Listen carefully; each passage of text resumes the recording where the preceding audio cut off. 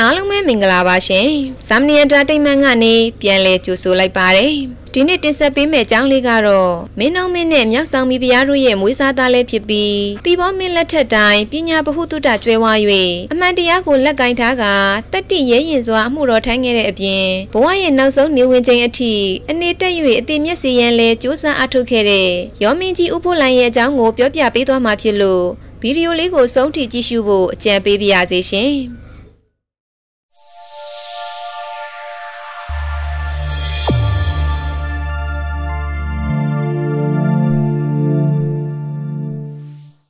ဥပိုးလိုင်ကိုရတနာပူရစတုထမြို့တီနန်းတီဘာကြီးတော်မင်းတရားလက်ထက်1192ခုနှောင်းတခုလာဇန်းဆယ်ရဲ့တောက်ကြနေ့မှာရေနန်းကျောင်းမျိုးစားရင်းတော်ဝင်ကြီးသရိုးမင်းလာကျော်ထင်းနဲ့ဝင်းကတော်မင်းငိမ့်တို့မှမြင်းချဲမြို့ရွာပလဲရွာတွင်ဖွားမြင်ခဲ့တာဖြစ်ပါတယ်။ငယ်မီမှာမောင်ဘိုးလိုင်ဖြစ်ပြီးအချို့ကချစ်စနိုးနဲ့မောင်လိုင်လိုလဲခေါ်ကြပါတယ်။ဥပိုးလိုင်ရဲ့မျိုးရိုးမှာမူးမှန်မျိုးရိုးဖြစ်ပြီးဘေးလက်ထက်မှစ၍မိမိလက်ထက်တိုင်အောင်မင်း30လုံးအစင်မပြည့်ရဲဘော်30ဖြစ်ခဲ့တဲ့ရွှေပြည်ဝင်ဥပိုးလိုင်ဟာမျိုးရိုးအတွက်အမြဲဂုံယူနေခဲ့သူတစ်ယောက်ဖြစ်ပါတယ်။တခုသောနေ့၌မင်းတုံမင်းတရားကြီးကငလိုင်ဒီလန်ကိုကြည်စံမြည်သူကိုင်းနဲ့လှန်တုံးဟုမေးလျာအရှင်ခမဲတော်ကိုင်းသောလှန်ဖြစ်ပါကြောင်းရှောက်တင်ပါတယ်။ငါခမဲတော်ဒီလန်နဲ့မြည်သူကိုစီရင်တော်ဟုဆက်မေးရာကျွန်တော်မျိုးကျေးဇူးရှင်အဖကိုစီရင်မှာကြောင်းထပ်မံ၍ရှောက်တင်ပါတယ်။ဒီလန်တော်နဲ့မောင်မင်းစီရင်ခြင်းကိုခံလိုသလားဟုမေးတော်မူရာဥပိုးလိုင်ကထိုးတော်မူပါဖျားဟုဆိုကရင်ကိုကော့၍ပေးပါတော့တယ်။မင်းတော်မင်းကမထိုးပဲ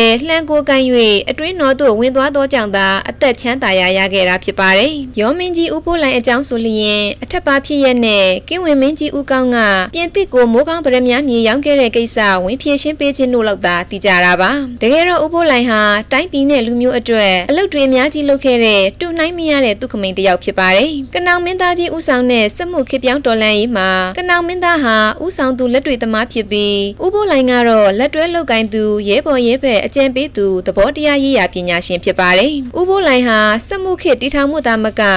နိုင်ငံရေးစီးပွားရေးအုပ်ချုပ်ရေးစသဖြင့်မြန်မာနိုင်ငံကိုအဖက်ဖက်မှခေတ်သစ်နိုင်ငံဖြစ်စေရန်ကြိုးပမ်းအထောက်ခဲ့သူဖြစ်ပါတယ်။သူကိုယ်တိုင်ကလည်းတက္ကတာပါဠိမြန်မာစာပေများအပြင်အနောက်တိုင်းဝိဇ္ဇာသိပ္ပံပညာရပ်တွေကိုလည်းနှံ့ဆက်သွားလေ့လာလိုက်စားခဲ့သူဖြစ်ပါတယ်။မင်းအောင်မင်းနဲ့မြောက်ဆောင်မီဘုရားတို့ရဲ့မွေးစားသားလည်းဖြစ်တဲ့ဥပိုးလိုင်ဟာပကံမင်းကိုတော်လန့်နဲ့မင်းအောင်ကနောင်ရေးတော်ပုံတွင်ကြံညံကောင်းများစွာပေးခဲ့ပြီးသူ့ရဲ့ကြံညံပေးမှုတွေကအရေးပါခဲ့တာမို့ရောမျိုးစားမင်းသားအဖြစ်ချီးမြှောက်ခံခဲ့ရပါတယ်။အဲ့ဒီအချိန်တုန်းကဥဖို့လိုင်အသက်မှာ23နှစ်သားရှိပါသေးတယ်။လက်တွေသမားကနောင်မင်းသားနဲ့အတွေ့အခေါ်သမားဥဖို့လိုင်တို့အလုတ်တွဲလုပ်ကြစဉ်အခါကမြန်မာနိုင်ငံကြီးရဲ့အနာဂတ်ဟာလင်းလက်နေခဲ့ပါတယ်။ကနောင်မင်းသားကြီးဟာသူ့ရဲ့စီမံကိန်းမှာလက်တွေလုပ်ငန်းတွေကိုသူကိုယ်တိုင်ဥဆောင်လုပ်ကိုင်ပြီးပညာရေးဆိုင်ရာတွေအတွက်တော့ဥဖို့လိုင်ကိုအကူအညီတောင်းလေရှိပါတယ်။ဥဖို့လိုင်ဟာမြန်မာဘာသာကျင်းတဲ့ရိုင်းနည်းကိုတီထွင်နိုင်ခဲ့သူဖြစ်ပြီးအဲ့ဒီအတွက်ရေးသားခဲ့တဲ့ကျမ်းကတော့လီပိဒီပိကာကျမ်းဖြစ်ပါတယ်။ဒါအပြင်တင်ချာဘာသာနဲ့ပတ်သက်သောလီလာဝရီကျမ်းဖန်ချက်ဝင်ဥရွှေဦးအကူအညီနဲ့ပြင်သစ်ဘာသာကနေပြန်ဆိုထားတဲ့လောကရက်စေကျမ်းအတ္တဗေဒကျမ်းနဲ့တတ္တသင်္ဃဟာကျမ်းများကိုလည်းပြုစုခဲ့သူဖြစ်ပါတယ်။ကနောင်မင်းသားလှုပ်ကြံခံရတဲ့အရေးခင်ကာလအတွင်းမှာအကျေကျုပ်ကျနေတဲ့ဥပိုးလိုင်ဟာကမ္ဘာဝါဒကြီးများဖြစ်တဲ့ဟိန္ဒူတို့ရဲ့ပြမဝါဒအနောက်တိုင်းမှာခော့ဝါဒပတိကလားတို့ရဲ့ခိုရာခေါ်လောကဖန်ဆင်းရှင်ဝါဒတို့လိုမြမဗုဒ္ဓဘာသာကျမ်းငန်တွေနဲ့တိုင်းညှိဝေဖန်ထားတဲ့ဝိမု ക്തി ရတ္တကျမ်းကိုလည်းရေးသားခဲ့ပါသေးတယ်။ယာရုပြန်ရပြီးနောက်မှာလည်းပခန်းကြီးမျိုးစားမင်းကြီးရဲ့တောင်းပန်ချက်အရမေကောင်းမင်းမြတ်တို့ကျင့်သုံးအပ်သည့်တရားများနဲ့ပတ်သက်သည့်မဟာသမထဝိနည်းစရာစာရန်ကိုနေချင်းပြီးရေးသားစီရင်ခဲ့ပါတယ်။နောက်ပိုင်းယာရုကြပြင်းတဲ့ဥပိုးလိုင်ဟာကင်းဝင်မင်းကြီးပြင်သစ်ကိုမိုးကုတ်ပရမများမြေရောက်ချတဲ့ကိစ္စနဲ့ယာရုပြန်ရပါတယ်။အိဋ္ဌာယာမမြောက်ပြင်ကျောင်းတိုက်ကြီးနဲ့မဟာအတုလဝေယံအတုမရှိကျောင်းတော်တို့ဟာရောမဘိတုကပုံစံကိုမှီပြီးမြမဆန်းဆန်းအင်္ဂရိပန်းများဖြင့်ပေါင်းဆက်မွန်မှန်ကဦးစီးတိဆောက်ခဲ့တာကြောင့်ဘိတုကပညာကိုလည်းလေ့လာခဲ့သူဖြစ်ပါတယ်။မင်းအောင်မင်းနဲ့ရွာဆန်ပြီးနောက်စင်ဖြူမရှင်မီဘုရားကြီးနဲ့အပေါင်းပါရရဲ့ထင်းတလို့ချဲလဲမှုတွေကြောင့်သွေးစွန်းခဲ့တဲ့နန်းတွင်းမှာ